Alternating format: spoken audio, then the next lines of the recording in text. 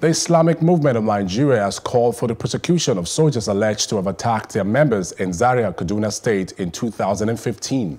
The IMN, while speaking to newsmen in Abuja, accused the Kaduna State government of refusing to provide justice and shielding perpetrators complicit in the act, despite a white paper which advised that they should be prosecuted. The spokesman of the group, Abdullahi Mohammed, says the Kaduna State government has disregarded the law and continues to hold their leader, Ibrahim El-Zakzaky, in detention, despite several court rulings mandating his release. Mr. Mohammed warned that there will be consequences if the controversial leader dies in public.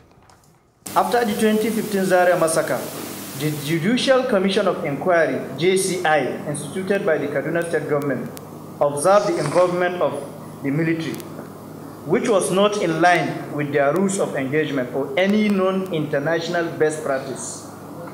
And therefore, the Commission had recommended that the trial of all officers who participated in the massacre. Yet, it is our leader who is being persecuted by the culprits. It is pertinent to categorically inform the general public that the Kaduna state government does not possess powers to order the military to perpetrate the unjust massacre.